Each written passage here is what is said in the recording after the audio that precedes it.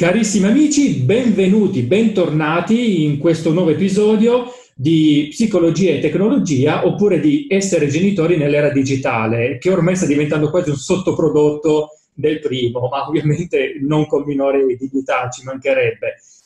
Ho veramente grandissimo piacere oggi di portarvi, di presentarvi il dottor Roberto Pozzetti, psicologo, psicoterapeuta, psicanalista lacaniano, membro della scuola di psicanalisi lacaniana, professore a contratto della Ludes di Lugano e inoltre anche presidente dell'associazione In-Out. Si occupa, tra le altre cose, anche di bambini e adolescenti e di digitale, quindi il rapporto che i bambini e gli adolescenti hanno con il nostro digitale e per cui chi meglio di lui potrebbe inaugurare anche questo periodo di interviste. È un grandissimo piacere e onore, ho avuto la possibilità di, avere, di collaborare con lui per progetti, meeting, conferenze, per cui insomma sono sicuro che sarà una bella intervista. Innanzitutto, benvenuto Roberto.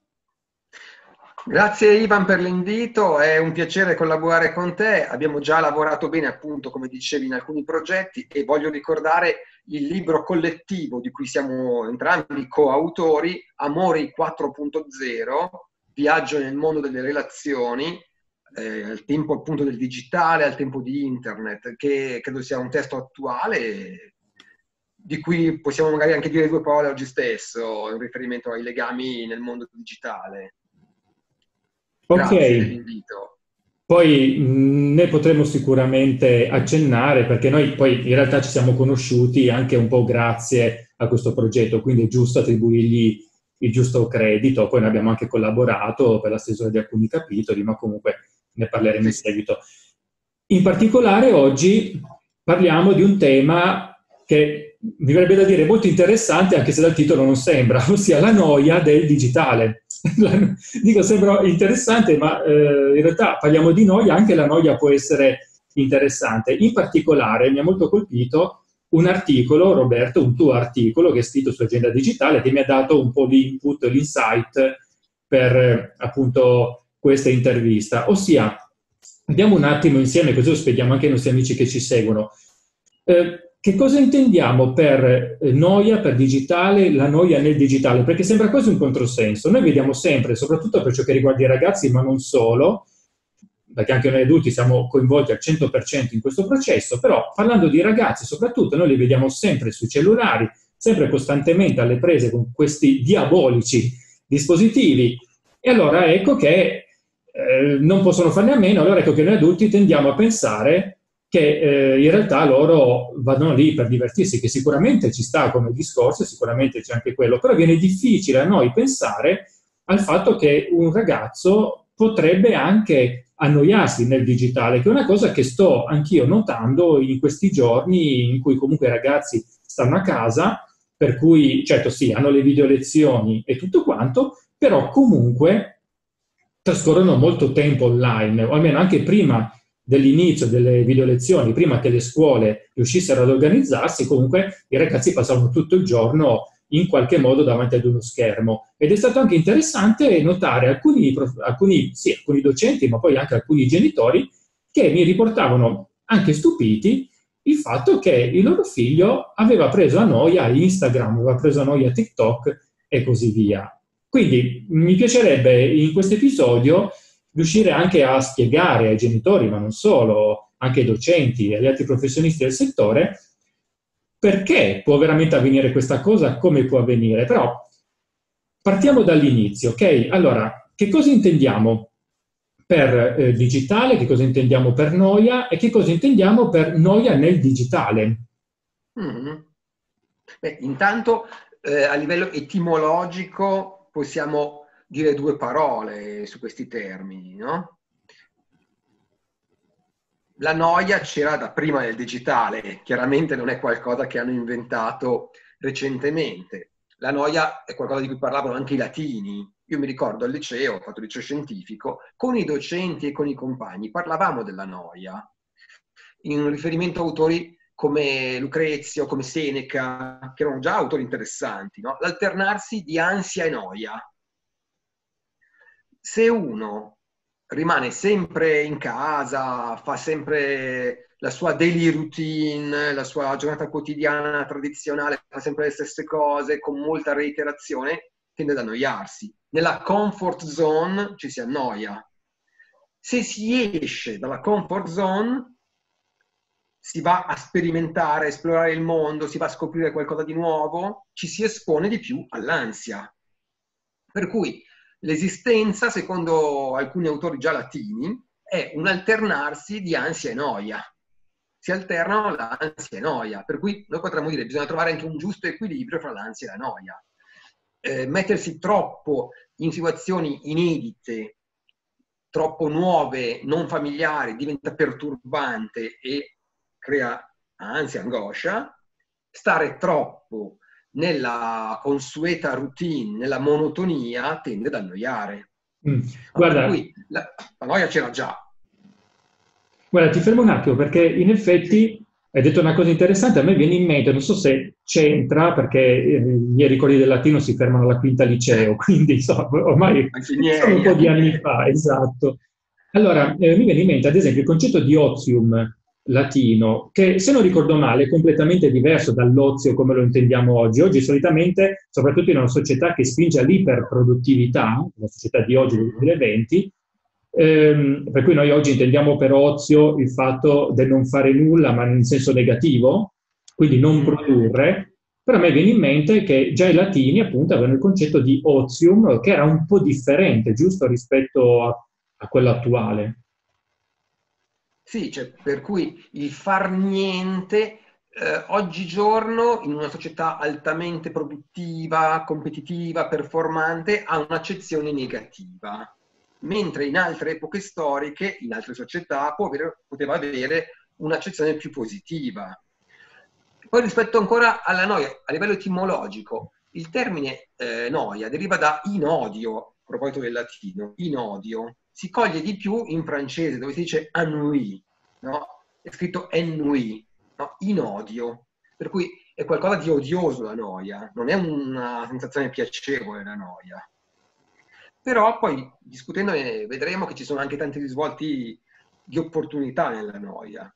E invece rispetto al digitale, no, digitale da che cosa deriva come termine digitale? Etimologicamente. Beh, etim- mi sfidi. Allora, etimologicamente digitale, beh, eh, allora io che ho visto i computer nascere, praticamente, oddio, ho 44 anni, però comunque è, è da quando ero elementari che seguivo, che, seguivo il discorso, che seguivo il discorso, quindi diciamo che forse mi mancano le schede perforate, anche se so che cosa sono, però da lì in poi direi che ci sto.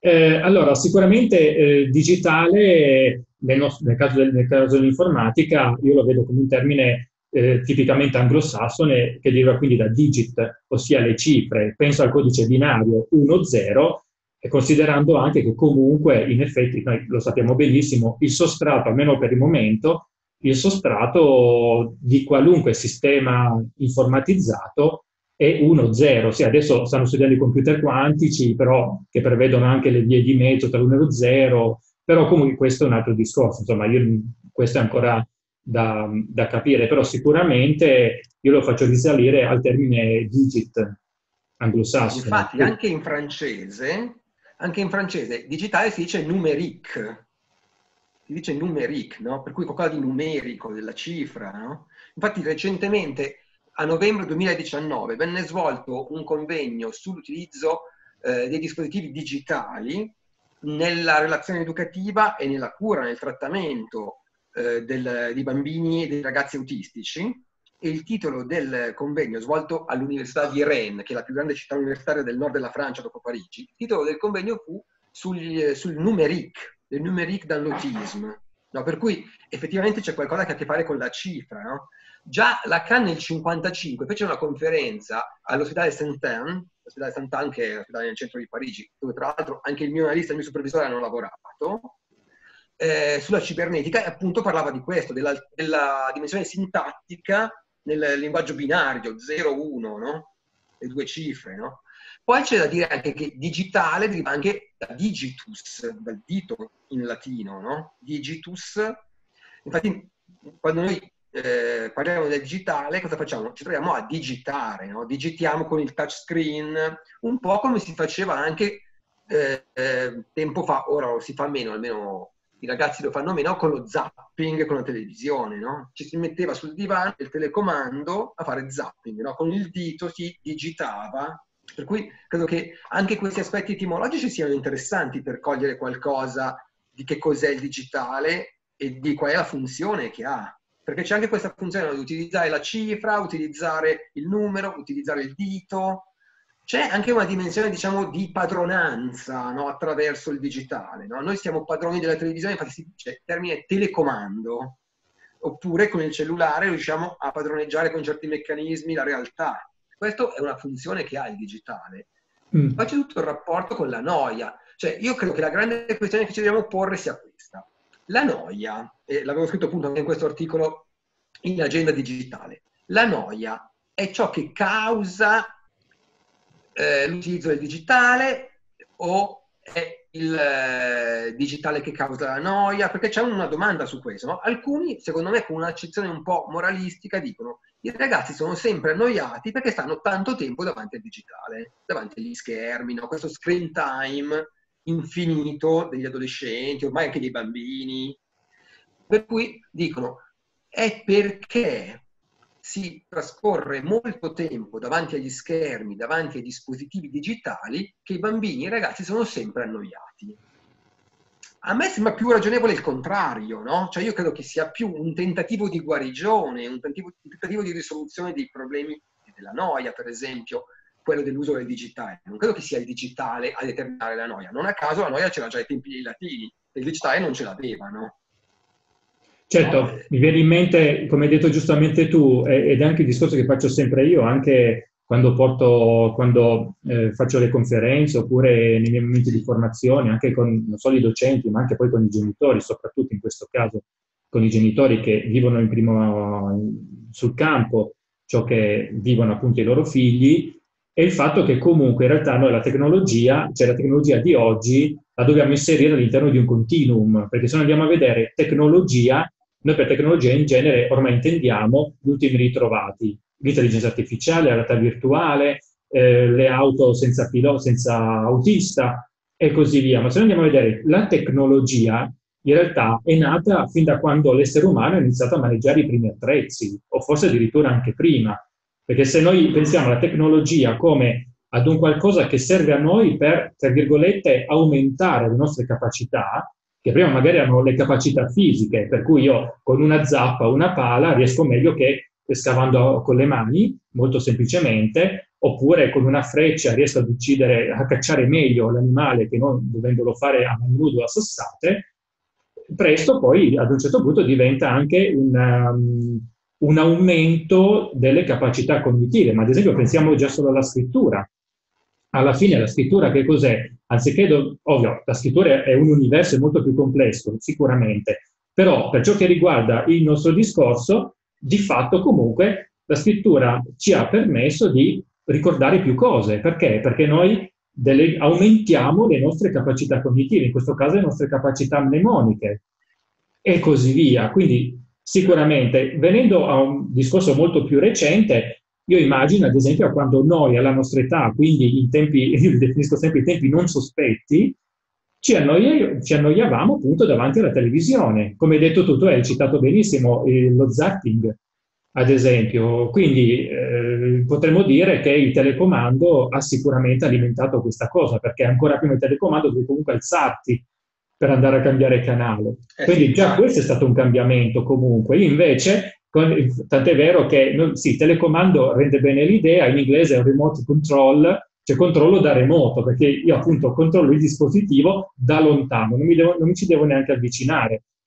E andando avanti poi, andando avanti lungo questo continuum, eh, diventa anche interessante notare, riallacciandomi velocemente al discorso del digit, quindi del termine, dell'etimologia del digitale, notare come il termine digit, digitale, sia nei tempi moderni sia nato per un discorso appunto numerico 1, 0 e tutto il codice che sta dietro i nostri sistemi informatici, presto diventa però in, ehm, in, un termine che entra in contrasto con analogico. Per intendere, il digitale è quello freddo 1-0 senza sfumature, che sottintende senza umanità alcuna, mentre invece abbiamo poi l'analogico che è più caldo perché non è solo 1-0, ma c'è tutto, tutte le sfumature, le gradazioni tra l'1 e lo 0 o addirittura oltre.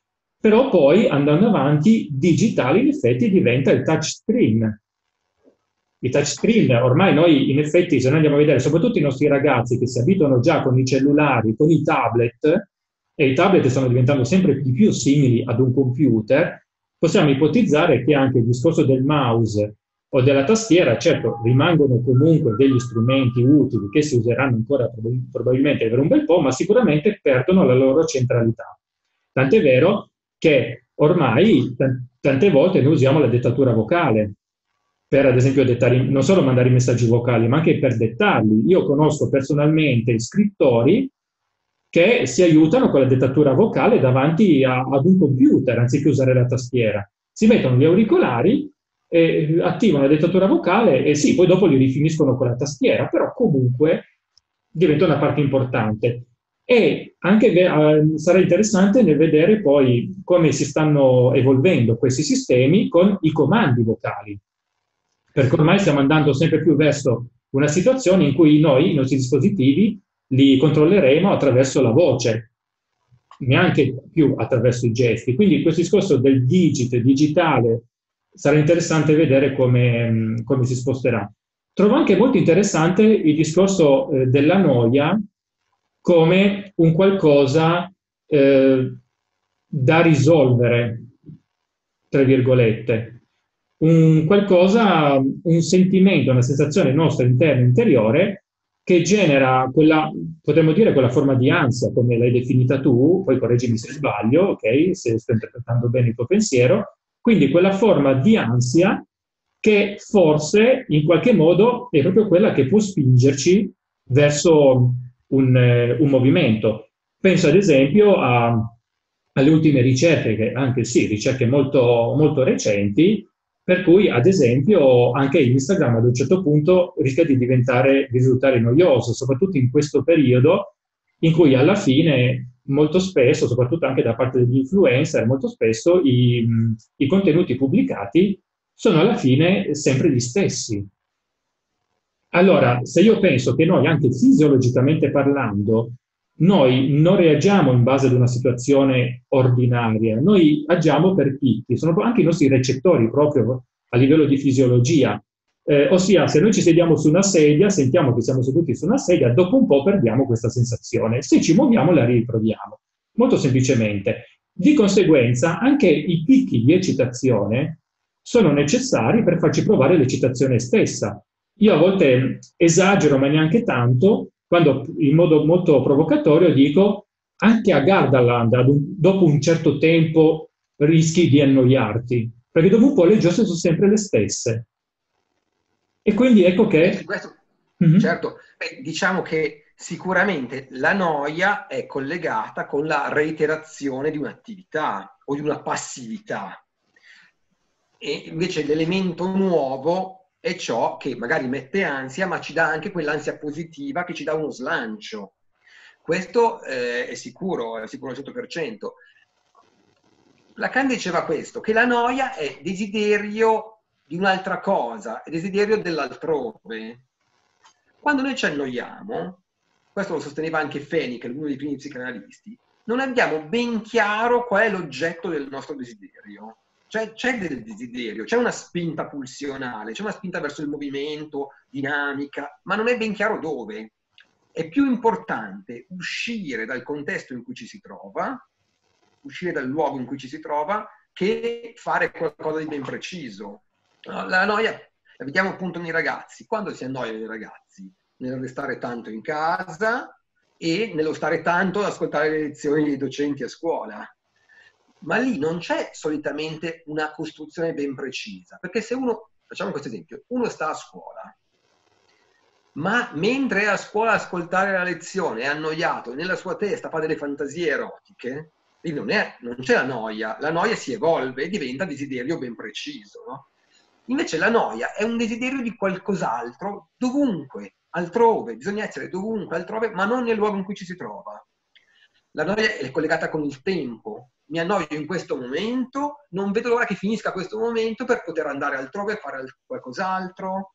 Per cui la noia è un desiderio, però diciamo così, abbozzato a uno stato eh, iniziale, eh, germinale, che non si è ancora strutturato bene. E perché? Perché sta cercando un oggetto. Per questo io credo che il digitale sia portentoso, sia formidabile per i ragazzi in questi termini. Poi magari si annoiano anche nel digitale, cambiano tipo di, di social, non utilizzano più Instagram, utilizzano Snapchat o TikTok, però comunque il digitale cosa ci permette di fare? Di cercare un oggetto. Io vado con il touchscreen e cerco l'oggetto che mi piace. Ne cerco uno, poi un altro, un altro ancora. Lo vediamo con la pornografia, no? Con la pornografia si cerca un video, poi un altro, un altro ancora. Lo si vede nelle ricerche su Wikipedia. Uno va su Wikipedia, cerca una cosa, annoiato, poi da lì c'è l'ipertesto che lo rinvia da un'altra parte e va avanti così magari ore a stare nello screen time perché? Perché, lo vediamo in particolar modo nei ragazzi, vi è la ricerca di un oggetto. Non c'è nel soggetto annoiato un oggetto ben preciso che possa dare un nome, dare una strutturazione, un'articolazione alla spinta pulsionale. Quando si arriva a strutturarla in modo più preciso, allora non c'è più la noia. Semmai c'è la nostalgia di qualcosa che si è perduto, perché c'è un oggetto ben preciso. Nella noia c'è una difficoltà a ritrovare l'oggetto del desiderio. No? Sì, trovo... Qui rimane un desiderio un po' vago, diciamo così, no? Per semplificare molto... un desiderio un po' vago quello della noia. Sì, trovo molto interessante questa idea del vago, perché in effetti mi torna molto anche con gli esempi che hai fatto tu. Ad esempio, parlando ad esempio dei, dei siti che offrono materiale pornografico, hai descritto bene sinteticamente la tipica, almeno la tipica esperienza di utilizzo dell'utente tipo di questi portali, ossia eh, contano molto ad esempio le anteprime, che non sono le anteprime, nel senso io apro il video, ma eh, sono quei, quei 5-10 secondi che io vedo semplicemente eh, posizionando il cursore su quel video. Quando io ho nella home page eh, tutta la griglia di tutti i video, io poi sposto il cursore su uno di questi video e mi parte già una mini clip che mi dà, dovrebbe darmi un'idea di quello che andrò a vedere nel video, perché l'idea è se poi in qualche modo ti ispira, ti piace, tu allora lo apri. Ok, invece si nota tantissimo questo fenomeno per cui io appunto utente tipo vado a vedere le varie anteprime in questo modo poi magari trovo dei video che, mi, che potrebbero interessarmi, ap- li apro senza ancora consumarli, magari apro 20, 30, a volte anche 40 schede del browser, se sono appunto ad esempio su computer, eh, quindi li apro tutte e solo poi magari faccio anche ricerche per parole chiave e così via, e solo poi alla, al termine forse consumerò uno di, di questi video. Quindi questo sicuramente ma la stessa cosa succede, spostandoci in un altro territorio, anche su YouTube, ad esempio, ed è uno dei motivi per cui le anteprime organizzate così funzionano. Questo anche da un punto di vista della user experience design, quindi il disegno dell'esperienza utente, aumentano l'engagement, aumentano le visualizzazioni o più in generale aumenta la probabilità che la persona, il visitatore, stia sulla piattaforma. Ad esempio penso anche alla, alla tecnica dell'infinite scrolling, ossia lo scrolling infinito, senza dover cambiare pagina. È stato proprio provato attraverso analisi, ormai anni di, di sperimentazioni, eh, che se mh, la persona sta più sulla piattaforma, se le do la possibilità appunto di scorrere, anziché prevedere un po' come il Google di una volta, beh, anche ancora oggi, eh, oppure eh, prevedere le pagine, per cui 1, 2, 3, 4 delle schermate. È vero che io ottengo razionalmente lo stesso identico risultato, per carità, però è stato provato che attraverso lo scrolling infinito le persone consumano più contenuto all'interno della piattaforma o perlomeno rimangono di più sulla bacheca. Quindi mm, penso ad esempio a Facebook, ma non solo, tutti i social network, quasi tutti in realtà, sì, comunque molti presentano questa, mm, questa funzione e non è un caso. Mhm. Comunque, eh, è anche interessante il discorso della noia, che è differente dalla noia che, che, poi io in qualche modo realizzo con un oggetto o un altrove, come hai detto tu. Eh, penso ad esempio al ragazzo, facendo l'esempio della scuola, ragazzo che si annoia di fronte a una lezione e magari di nascosto eh, guarda dei video sul cellulare o che ne so, mh, mm, legge una rivista. Oggi sembra un po' anacronistico, però può capitare o magari manda dei messaggi di carta, se vogliamo, ad altri compagni della classe, del tipo cosa facciamo oggi e via di questo passo. Quindi è un po' diverso. Questo anche l'università mi viene anche, eh, mi viene anche in mente mi viene anche in mente l'idea del cazzeggio. Sì. Ok, che cosa ne pensi?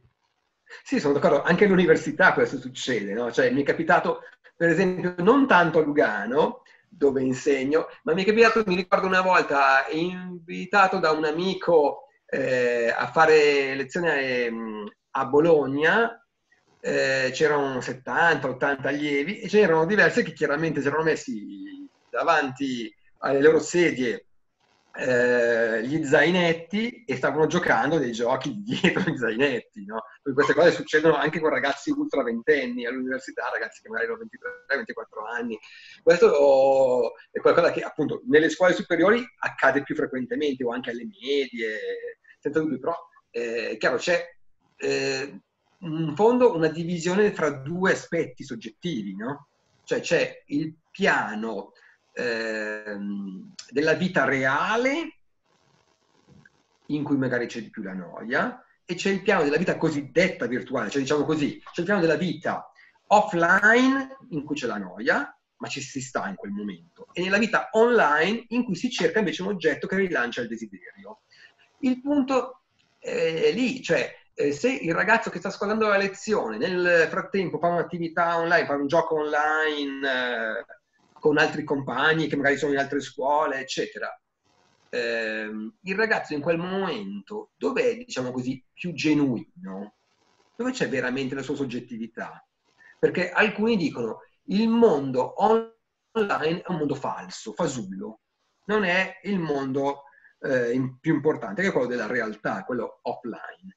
Eppure noi potremmo dire invece il contrario, perché è proprio nel mondo online che uno ha del desiderio, che uno ha della passione, No? Per cui io eh, ho difficoltà ad avere un atteggiamento così moralistico nei confronti dei ragazzi che vivono tanto eh, nel, nell'online, che stanno su Skype, che stanno su Zoom, che stanno eh, su WhatsApp, fanno le videochiamate.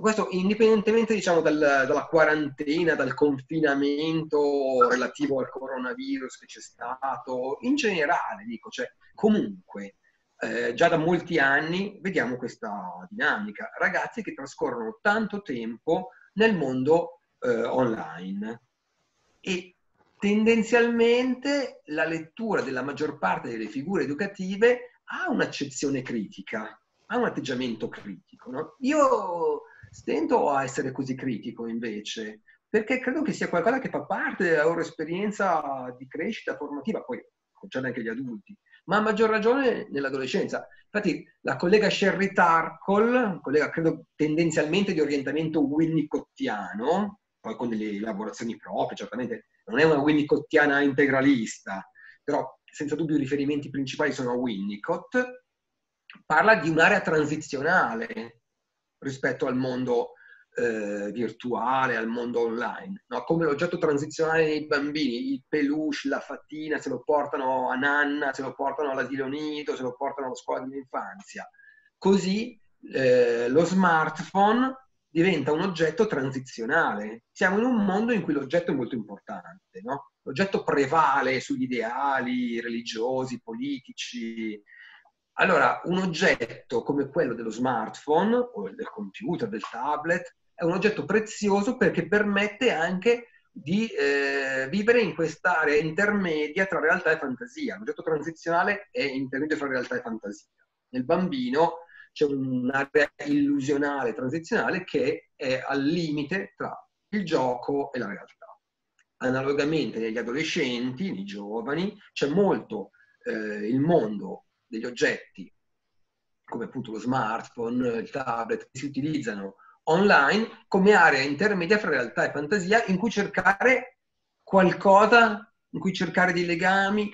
È un trampolino di lancio, dice Sherry Tarkle, prima di arrivare all'incontro effettivo. Infatti, quante volte lo vediamo questo?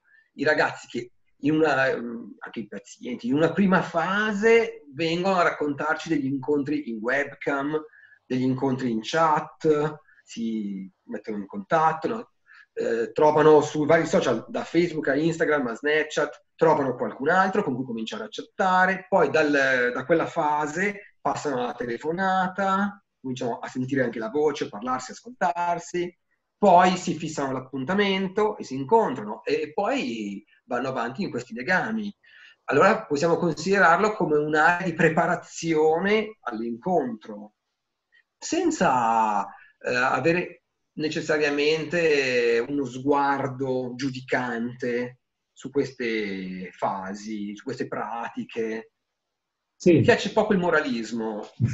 Sì, infatti, ti, e ti seguo perfettamente. In effetti sì, mi vengono in mente anche ad esempio eh, quei videogiochi che prevedono la possibilità di formarsi in gruppi, squadre, club, tribù a seconda del videogioco e, ehm, e, poi muovere magari guerra o battaglia contro altre squadre. E questo dà avvio a tutta una serie di dinamiche di gruppo molto interessanti, che sono un po' quelle che vediamo anche al di fuori, quindi leadership, eh, dinamiche, le dinamiche dei gregari e via di questo passo, quindi l'aderenza al gruppo, le norme del gruppo, che spesso nascono in modo spontaneo anche tra ragazzini più piccoli, magari ecco, subito no, però poi crescendo, giustamente, che possono comunque essere palestra, una palestra, una, non la palestra, ma una palestra per ciò che troveranno fuori, eh, nel bene e nel male, perché poi in queste chat possono avvenire, lo sappiamo benissimo, anche cose meno, meno felici, però esattamente come fuori. Quindi, da questo punto di vista, eh, tu giustamente dici, se non ho capito male, ben venga il digitale che comunque permette ai nostri ragazzi di sperimentare ciò che sarà poi il loro mondo, se vogliamo, anche adulto. E mi viene in mente, senza fare facili parallelismi per carità, ad esempio anche il gioco che il bambino fa quando è molto più piccolo, in cui gioca a, a fare l'adulto, nel senso gioca a fare le cose che fanno gli adulti. Quindi immagino tipo la bambolina, allora vediamo la, la bambinetta che porta la bambolina col passeggino, ad esempio, eh, oppure il, il bambino che eh, gioca con i camion, con, al di là dei sessismi, per carità, adesso non voglio entrare nel termine, è anche un discorso sì. culturale, ci mancherebbe, però comunque per ciò che riguarda il nostro discorso, alla fine è più o meno la stessa cosa, quindi possiamo pensarlo come ad una palestra. E trovo anche interessante questo discorso del digitale che permette a noi, ma soprattutto ai nostri ragazzi, in qualche modo di sopperire a ciò che è venuto a mancare nella società moderna. Eh, parlo anche proprio in termini di ambienti di vita. Mi viene in mente, ma non solo il digitale, è emerso anche prima, però ad esempio mi vengono in mente tutti quei videogiochi dove comunque ci sono terreni da esplorare, mostri da combattere, che in qualche modo rispecchiano un po' quelli che, eh, quello che facevano le generazioni precedenti a sconfiggere i draghi mostri, solo che le generazioni precedenti lo facevano fisicamente in un bosco vero, al posto della spada magari avevano un ramo che in quel momento era per loro la spada, ad esempio. Man mano che la nostra società, almeno parte della nostra società, si è urbanizzata e quindi ha iniziato a privare i nostri ragazzi di questi spazi, allora che in qualche modo questi spazi sono saltati fuori, in questo caso non solo per il digitale, perché ad esempio io penso anche a, a tanti cartoni animati anche dei miei tempi, quindi completamente fuori dal digitale, in cui noi vivevamo le esperienze di esplorazione, di combattimento contro mostri e così via attraverso i cartoni animati. Perché? Perché stavamo in casa e non c'era modo di stare fuori, perché fuori c'erano le macchine, c'erano le persone cattive e c'erano, per carità, preoccupazioni giustificatissime da parte dei nostri genitori, ci mancherebbe, però di fatto eh, tutto questo discorso qui ci privava di quelle esperienze che in qualche modo noi abbiamo ritagliato, vabbè, che ce le hanno proposte, perché poi c'è un aspetto commerciale dietro, però per ciò che riguarda noi, le abbiamo comunque ritagliate da questi strumenti. E adesso questo al posto della televisione lo fa invece il digitale, quindi con i videogiochi, tant'è vero che alcuni esperti del settore e anche alcuni pensatori moderni hanno già iniziato a definire i videogiochi come le moderne fiabe. Ah sì, appunto, infatti. Infatti questo sì, cioè, effettivamente questo è interessante, no? cioè considerare il videogioco come un'evoluzione della fiaba, davvero, cioè un luogo di sperimentazione. Eh, le fiabe avevano queste caratteristiche, no? cioè, in particolar modo nelle bimbe, no? eh, le fiabe da eh, Rapunzel a Biancaneve, eh, la bella addormentata nel bosco, cioè avevano queste caratteristiche di una storia, solitamente sono sempre collegate a una storia in cui i genitori vengono a mancare, in cui c'è la matrigna cattiva, ci sono un po' degli scenari ricorrenti, no? Harry Potter ha delle caratteristiche analoghe, no? In Harry Potter i genitori sono morti, eh, per cui solitamente il protagonista della fiaba è un po' come Harry Potter. E anche nei videogiochi eh, una trama frequente in queste saghe è quella mh, del personaggio che si trova ad affrontare delle sfide enormi, immani, con i vari livelli. Chiaramente c'è anche tutto un aspetto relativo agli skills, no? aumentare le competenze. Infatti, cosa fa chi gioca? I, bambini o gli adolescenti che giocano nei videogiochi dal, dalla PlayStation, da Grand Theft Auto a tutte le varie elaborazioni? Va sui livelli, no? ci sono i vari livelli di competenze, di abilità. Eh, credo che siano appunto degli oggetti moderni. Parlavo prima di Winnie di gioco in realtà. Le forme del gioco cambiano. Sì. Eh, una volta erano le bambole, ora non soltanto quello. Ci sono questi aspetti. effettivamente è interessante quello che dicevi tu, che molto di, questo, di queste vicende concerne la formazione della soggettività adulta. Questo c'è ancora, no? i bambini che si vestono con la cravatta del papà, eh, con le scarpe del papà, no, provano a camminare mm, con le scarpe del papà, oppure c'era una canzone di Bruce Springsteen eh, che parlava del eh, seguire le orme del papà con piedi lungo la sabbia, sulla spiaggia. No? Il bambino cerca di fare come il papà, la bambina frequentemente no, cerca di vestirsi come la mamma, si mette il rossetto, il mascara. Allora, quest'area di gioco credo che sia fondamentale e mi pare che la lettura più ragionevole del mondo digitale nei ragazzi, ragazzi e nei bambini, da altri aspetti più lavorativi, la lettura più ragionevole nei ragazzi e nei bambini sia quella appunto di un'area di sperimentazione, un'area di gioco, un'area in cui cominciare a intessere delle relazioni. È qualcosa, qualcosa che sempre più frequentemente si ritrova nel, nel nostro mondo, no? Qualcosa che sempre più frequentemente avviene. E dunque eh, c'è quest'area in cui ci si sperimenta, non a caso lo vediamo appunto nel, nel, mondo del webcam, anche per quanto riguarda la pornografia in webcam, no? c'è comunque un uh, mettersi alla prova, uno sperimentare qualcosa che poi si giocherà nella vita effettiva. Jacques-Alain Miller ne ha parlato concludendo un convegno internazionale l'Associazione Mondiale di Psicanalisi, diceva quanto la pornografia è entrata negli studi degli psicanalisti negli ultimi anni. È diventato un argomento cruciale negli ultimi decenni, no? eh, veramente mh, mm, lo troviamo tanto come argomento e eh, lo troviamo anche negli adulti ovviamente, ma a maggior ragione lo troviamo negli adolescenti il momento di formazione della sessualità. Infatti parlavo dell'abbigliamento, il fatto di vestirsi in un certo modo è proprio un modo per cominciare a fare l'uomo, a fare la donna. C'è sì. questo... Quindi, quindi, possiamo dire che, che in realtà i ragazzi, ancora prima di annoiarsi, perché si sta già, stiamo già comunque stravolgendo il concetto comune di noia, quindi dicevo, i ragazzi, anziché, eh, in realtà non è che si annoino, ma sperimentano, parlo del, sul digitale. Eh sì. Esattamente come noi imparavamo da altre cose. Ad esempio, io mi ricordo benissimo il primo giorno in cui alle scuole medie il ragazzo ripetente, che poi aveva un anno in più, ma a quell'età un anno in più sembra che sia veramente l'adulto della situazione, mi ricordo che ero, mm, mi, sì, comunque alle medie, eh, portò una rivista pornografica che era di suo padre, l'aveva trovata in casa, ma l'aveva portata e mi ricordo che quella mattina non si riusciva a fare lezione, ovviamente. Però per dire, e lì c'era appunto la curiosità, c'era la curiosità di vedere questo mondo.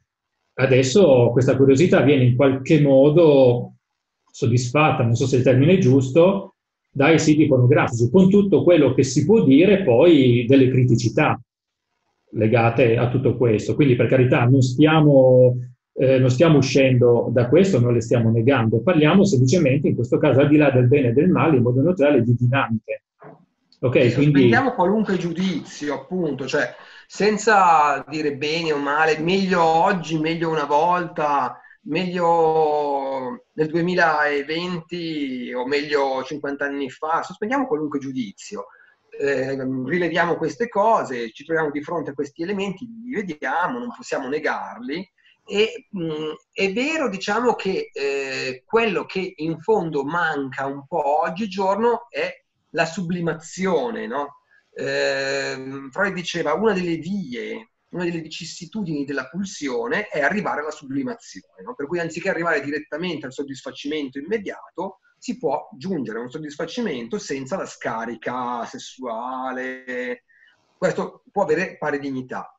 Quello eh, è qualcosa che a volte manca, no? eh, infatti la noia credo che sia anche una grande occasione per giungere alla sublimazione. Non è raro che uno dica mi stavo annoiando, poi mi è venuta l'ispirazione e ho fatto un video e ho scritto un articolo.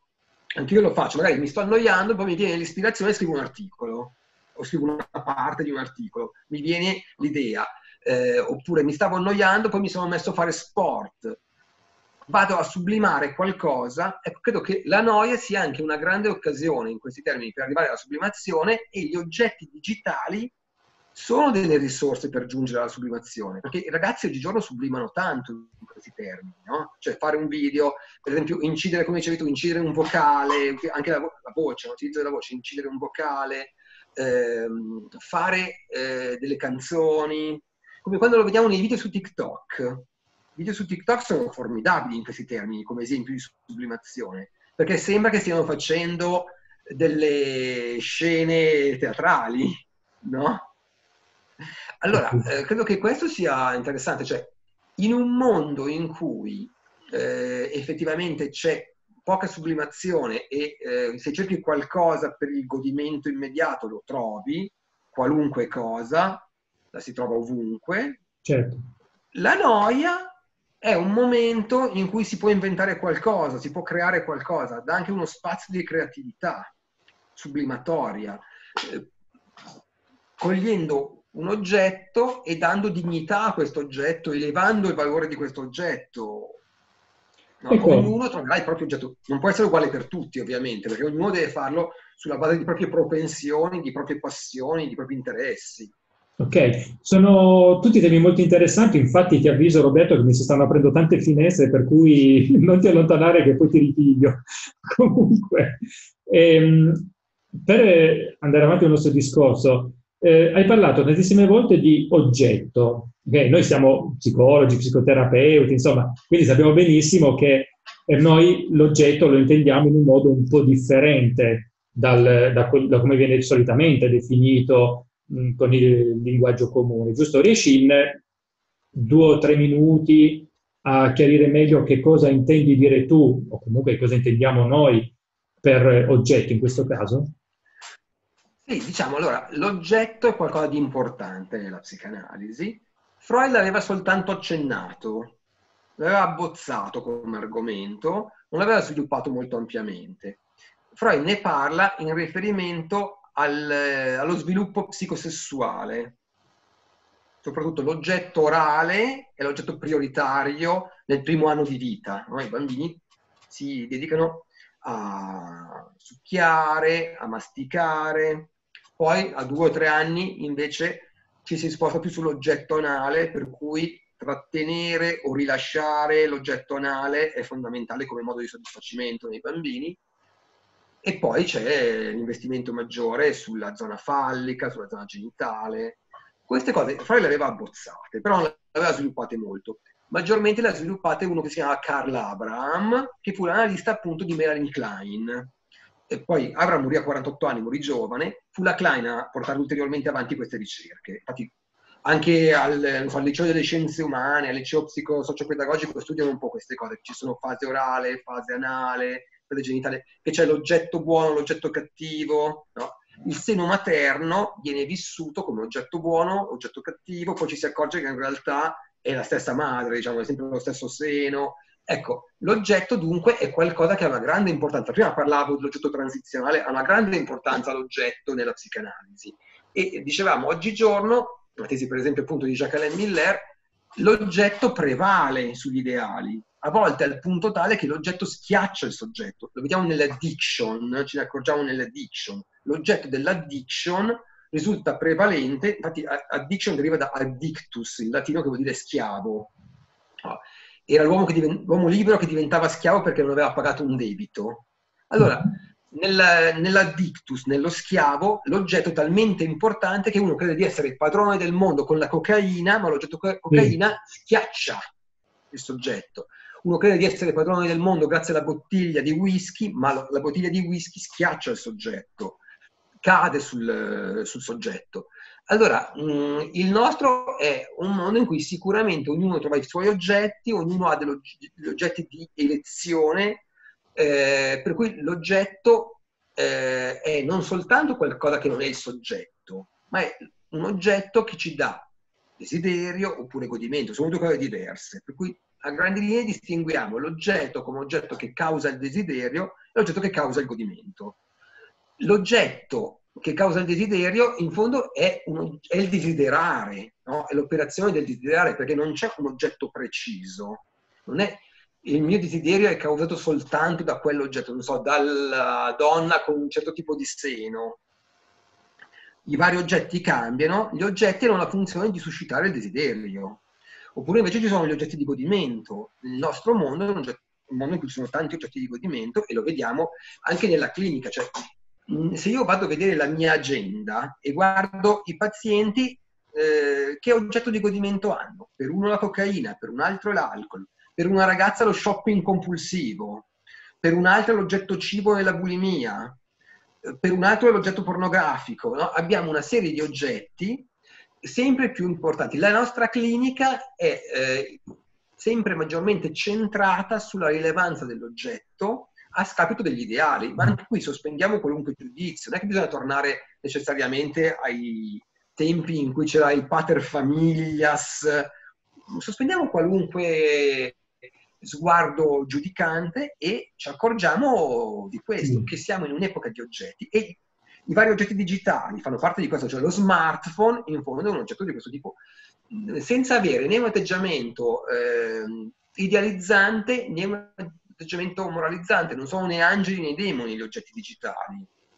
Certo, mi viene, ad esempio, certo, mi viene in mente ad esempio eh, quello che, vabbè, io lavoro ormai con i ragazzi da vent'anni, quindi ho potuto vedere anche proprio varie generazioni, se andiamo a vedere, a vedere, e comunque confrontandomi sempre con i docenti e con i genitori ho visto anche un po' questo passaggio, ossia eh, abbiamo sempre di più l'impressione che man mano che arrivano le nuove generazioni, quindi le nuove generazioni, eh, siano sempre più orientate al concreto e meno all'astratto. All'astratto, attenzione, intendo dire anche ad esempio alla questione di principio, se vogliamo anche all'etica. Eh, mi viene sempre in mente un aneddoto che io riporto sempre, perché mi è rimasto veramente, quando un ragazzo che seguivo io, ormai già un po', sì, qualche annetto fa ormai già, quando ad un certo punto mi chiese, Ivan, ma che differenza c'è tra una ragazza in eh, biancheria intima e una ragazza in bikini. Perché tanto alla fine, eh, mi, mi, dicevo così, perché tanto alla fine i centimetri di corpo scoperti sono sempre gli stessi. In effetti io poi ironicamente dico sì, a volte sei più scoperta quando vai al mare che non quando sei in biancheria intima paradossalmente. Eh, però in effetti questo mi ha fatto riflettere tantissimo, poi ovviamente ne abbiamo parlato, ci mancherebbe, però eh, è stata una, una, riflessione così spontanea che sicuramente non era provocatoria, eh, tipica dei ragazzini, quando vogliono metterti in difficoltà, magari anche solo per scherzo e così via. Eh, era veramente una, un, un, sincero e genuino eh, voler capire com'era questa cosa. Ok? E consideriamo che questo era un ragazzo che stava ormai, in quel periodo, stava ormai terminando le scuole medie. Non parliamo di un bambino di 5 anni, che ancora deve capire come va il mondo. Insomma, un ragazzo di terza media, comunque, vuoi o non vuoi, ovvio, non è un adulto, però comunque un po' di esperienze le ha avute, già può iniziare a farsi una sua idea del mondo. E quindi mi ha, mi ha fatto molta impressione questa, questa cosa qui. E in effetti sembra, noi abbiamo l'impressione che le nuove generazioni siano sempre meno orientate a, cioè siamo sempre più orientate al concreto, eh, solo che appunto noi poi demonizziamo e ci dimentichiamo che in realtà stiamo proprio assistendo ad un passaggio culturale che poi, ripeto, sempre al di là del bene e del male, perché non, non siamo qui oggi per eh, fare giudizi, per dare giudizi sulla questione. Di fatto sta accadendo questo, quindi in questo io inserirei anche, ovvio, non è l'unica, l'unica questione, però ad esempio eh, penso alle ragazze che magari eh, mandano delle loro foto in reggiseno oppure addirittura se non scoperto nude in cambio di una ricarica telefonica. Non dico che si debba fare, non dico che sia lecito farlo, ovviamente, però mettendomi nei panni di questa ragazza, salvo quando è obbligata, quando viene raggirata e così via, in alcuni casi c'è proprio la, la, la coscienza di dire sì, è vero, è il mio corpo nudo, ma tanto chi se ne frega, non sto facendo sesso con questa persona, non mi sto prostituendo, è solamente una foto, chi se ne frega, intanto mi ricarico il cellulare. Sì, sì, ho presente anch'io queste situazioni nella mia pratica clinica, eh, appunto con le ragazze innanzitutto, eh, ma anche con i ragazzi. C'è tutta la questione, per esempio, della prostituzione online. Eh, al maschile se ne parla nel film Disconnect, che è un film che ha avuto un certo seguito fra gli adolescenti. Mi piaceva l'esempio che portavi di questo caso, no? di questo ragazzino di terza media. Eh, adesso, senza entrare nel merito del caso, sia perché non è questo il luogo, sia perché non lo conosco, no? però credo che ci dia eh, emblematicamente un esempio di una difficoltà contemporanea a cogliere qualcosa dell'ordine simbolico. È a livello simbolico che noi possiamo cogliere la differenza tra eh, la biancheria intima e il bikini. Perché? Perché nella nostra società ci sono delle regole simboliche per cui in un certo luogo, si, in spiaggia, in piscina, ci si mette eh, con eh, il bikini, le ragazze si mettono con il bikini e invece in casa, in intimità, si mettono con la biancheria intima. È una differenza di tipo simbolico. Eh, oggigiorno siamo di fronte a un declino del simbolico l'ordine simbolico è in declino e appunto prevale l'oggetto, in particolar modo l'oggetto di godimento. Anche qui, senza, eh, come dire, rimpiangere i tempi in cui invece le regole simboliche e culturali erano fondamentali, però non si può non cogliere questa variazione. Credo che eh, l'essere umano senza qualcosa del simbolico non possa esistere, no? perché l'essere umano ha sempre una tendenza, diciamo così, un po' alla trascendenza, ma anche nei termini laici. Per esempio, Sartre ne parlava anche in termini laici, no? non per forza in termini religiosi. Cioè, eh, proprio qualcosa di tipico dell'essere umano che è cogliere un elemento altro. Che cos'è il simbolico? In due parole, perché poi potremmo parlarne in un seminario intero, no? Ma il simbolico è ciò che è presente in assenza. Qual è eh, un emblema eh, del simbolico? Uno dei primissimi libri di Freud che mi trovai a leggere da adolescente era Totem e Tabù. Eh, Freud porta questo esempio del totem. No? Il padre viene ucciso, i fratelli si uniscono e uccidono il padre, il padre è morto, il padre è ucciso, e rimpiazzano il padre con un totem nell'orda primitiva. Perciò il simbolo è il totem. il totem sta al posto del padre, ciò che era proibito dal padre ai figli, poi i figli se lo proibiscono perché c'è il totem. Dunque, delle regole, delle leggi sono la base della cultura, dell'ordine simbolico. L'essere umano non può fare a meno di questo. C'è una regola di civiltà, ci sono delle regole di civiltà per l'essere umano. Eh, non sempre le si colgono bene. Io ti faccio un esempio di quando lavoravo, eh, ho lavorato per um, un anno e mezzo nel carcere di Como, parlo di vent'anni fa. La mentalità di alcuni detenuti che non riconosce il simbolico. Mi ricordo un detenuto che diceva questa cosa, un detenuto che abitava a Bibizzolo, che è una frazione di Cantù, no? e diceva, ma mi hanno, sono, mi hanno, mandato in carcere perché ero agli arresti domiciliari, potevo stare nel mio comune e mi hanno trovato in un altro comune. Ma se io sono di Bibizzolo e vado a Cantù e ci posso andare, perché non posso andare in un altro comune? Cioè non riusciva a capire che un quartiere di questa città è qualcosa in cui si può andare e invece andare in un altro comune non si può andare perché c'era questa regola che era rimanere nel comune di residenza che gli aveva messo il tribunale di sorveglianza. Oppure un altro esempio ancora, ehm, dei detenuti avevano aperto un bar.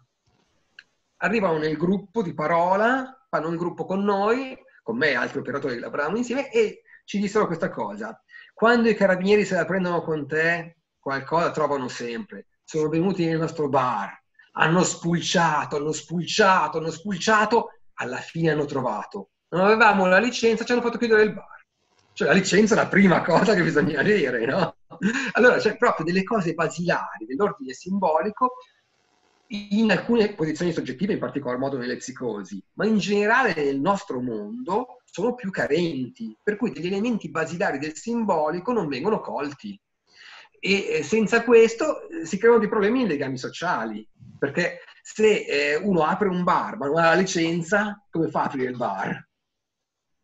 Sì, trovo, trovo molto interessante, anzi ti ringrazio per questo assist eh, perché hai, grazie al fatto che hai comunque eh, portato delle esperienze, degli esempi che non c'entrano nulla con il digitale, al di là della, della particolarità di quelle esperienze, dell'ambiente in cui si sono svolte e così via, ci fa comunque capire che questo passaggio verso una maggiore, eh, potremmo dire, concretizzazione delle nostre vite, della nostra realtà, della nostra società, non è la causa, cioè non è eh, la causa di questi, non è il digitale, ma semmai potremmo, allora, è un passaggio che sta avvenendo comunque, potremmo semmai dire che sì, il digitale è uno di quegli elementi che proprio per la sua natura va poi ad inserirsi all'interno di questo processo, un po', ma è anche, è anche una forzatura ammettere una cosa simile perché in realtà il digitale, appunto per la sua natura evanescente, fluida,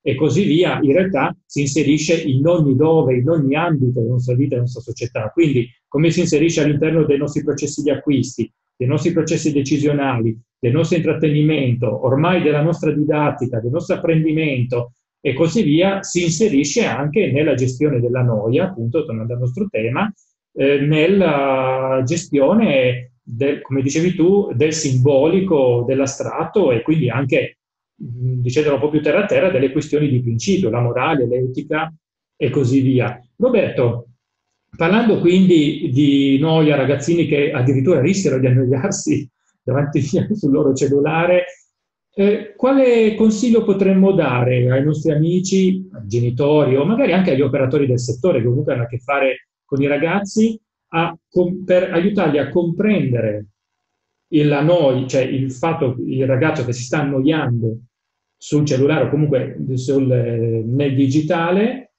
e eh, magari dei consigli su come, su come aiutarli. Sì. Beh, intanto ovviamente diciamo, il consiglio noi lo intendiamo in modo diverso da una predica, da una paternale, da una pastorale, ovviamente perché non è il nostro compito. Questo semmai lo riserviamo ai sacerdoti. No? Il nostro compito non è quello di fare i metra pensée che vogliono insegnare eh, alla gente, ai ragazzi in particolar modo, che cosa è giusto e cosa è sbagliato. Questo ovviamente, però un consiglio mh, mm, lo darei in maniera diversa, un consiglio ai ragazzi e un consiglio per esempio ai genitori o anche comunque agli adulti. No? Vai. Eh, credo che sia mh, mm, un piccolo consiglio, un minimo consiglio.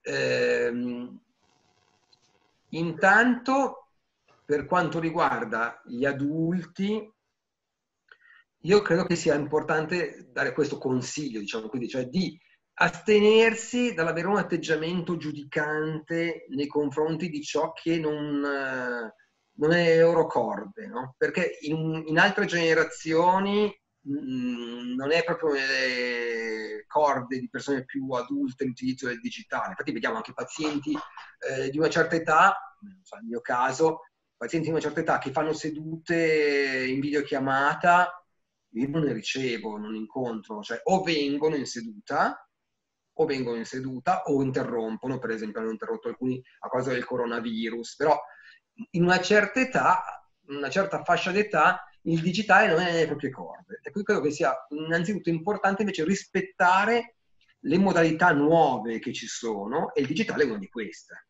Una di queste. Quindi questo è un primo punto. Digi- il digitale va accolto, accettato senza criticarlo a prioristicamente in una sorta di pregiudizio. Questo per quanto riguarda gli adulti, genitori e insegnanti. Per quanto riguarda invece i ragazzi, io credo che il consiglio da dare sia, eh, anziché quello di fare una cosa precisa, di trovare la propria singolarità, cioè trovare anche attraverso il digitale, perché no, soprattutto attraverso il digitale, quell'oggetto, quell'interesse, quella passione che è singolare e che può permettere loro di stare bene nella vita quotidiana, di stare bene nel legame con gli amici, con le ragazze, con i ragazzi, trovare qualcosa di singolare, andare verso una ricerca singolare. Eh, perché il digitale può essere usato in due modi in questi termini, cioè con una certa massificazione, con un certo conformismo, no? per cui tutti fanno la stessa cosa. Cioè, mm, come parlavi tu prima delle gilde, dei gruppi, dei giochi online. No? Ci sono quelli che me ne parlano, in particolar modo a livello dell'età delle medie. Tutti i ragazzi che si danno appuntamento, tutti i ragazzi della classe, della scuola che si danno appuntamento per giocare a un certo videogioco al pomeriggio.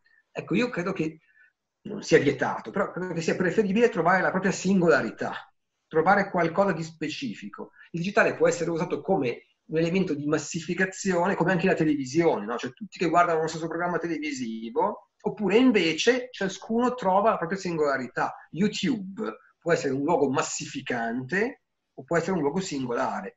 Io credo che la cosa più importante sia trovare la propria singolarità e il digitale ci offre tante opportunità su questo, perché se cerchiamo qualcosa la troviamo. No? Certo. Allora il consiglio ai ragazzi è quello di utilizzare eh, in modo saggio il digitale per cercare la singolarità di qualcosa che fa stare bene. Ok. Fa stare bene. Quindi per gli, adulti, per gli adulti aiutare i loro ragazzi, i nostri ragazzi, anche attraverso questo passaggio. Comunque ricordiamoci che comunque inevitabilmente, è normale, fa parte dello sviluppo dell'individuo, comunque l'individuo passa da un, eh, un, periodo di estrema singolarità, tipo il bambino, tutto intorno a me, poi dopo un po' inizia a scoprire il gruppo, per cui il gruppo diventa importantissimo e poi inizia a, ad acquisire questa, questa singolarità. Certo dipende dall'età, dipende dalla maturità anche, del singolo ragazzo, però ecco, quindi un consiglio che possiamo dare ai genitori, non solo, quindi anche agli operatori del settore, è quello di eh, vedere il digitale come un'opportunità e uno strumento, come abbiamo detto prima, e aiutare i nostri ragazzi a questa forma di individuazione e quindi uscire, che è normalissimo, però noi li possiamo aiutare ancora di più, uscire dal discorso della massa, dal discorso del gruppo per acquisire un proprio pensiero critico. E in questo un utilizzo consapevole del digitale, anziché ostacolare, invece può addirittura aiutare il ragazzo a, a questa cosa. Ad esempio, scoprire passioni nuove anche laddove magari intorno a lui queste passioni non vengono assolutamente sviluppate. Allora magari attraverso YouTube, attraverso siti, eh, Instagram, che ne so, TikTok, può scoprire nuovi interessi, oppure può entrare in contatto con altri suoi coetanei che vivono, che hanno le, le sue stesse passioni. Ripeto, anche se il nostro ragazzo magari vive in un contesto eh, in cui nessun altro intorno a lui condivide la stessa identica passione, può comunque trovare questo, questo aggancio. Ok Roberto, allora, mh, dove possiamo trovarti? Perché mi hai messo anche curiosità, ok, retorico, io ti conosco, però dove i nostri amici che ci stanno seguendo possono trovarti? Beh, eh, intanto eh, io sono reperibile online con un uh, profilo Facebook, un profilo Instagram, LinkedIn anche, e poi sono reperibile nei miei studi di Como di Cantù, dove ricevo, il mio numero di telefono è 031 27 35 57. Ok. La mia mail pozzettiroberto chiocciola alice.it. Qua mi okay. facilmente, ormai tutti trovano con sì. Google, ci si trova facilmente. Comunque, carissimi amici, non vi preoccupate perché in descrizione trovate tutti questi elementi. Quindi adesso non state lì col cartepenna, tranquilli, non vi preoccupate. Eh, raccolgo tutto quanto e li trovate in descrizione, ma ovviamente se non l'avete ancora fatto iscrivetevi a questo canale, mettete mi piace se vi è piaciuta questa intervista, fatelo così anche Roberto è contento, non scherzo, questo è Direi di sì, grazie. come ti spreco per i miei scopi commerciali. ok, comunque eh, a parte scherzi, è stato veramente un piacere Roberto averti qui e anzi non ti preoccupare come ti ho già detto ti ripiglio, sicuramente abbiamo aperto tante finestre che mi piacerebbe poi trattare insieme a te in, ehm, in futuro. Magari in un'altra occasione, volentieri Ivan. Ok, grazie di nuovo Roberto, carissimi amici, quindi Roberto Pozzetti, ripeto, in descrizione se avete piacere appunto i, tutti i contatti per eh, contattarlo, per scoprire di più, vi ripeto, iscrivetevi al canale, mettete mi piace, ricondividete questo video e noi intanto ci rivediamo alla prossima puntata. Ciao!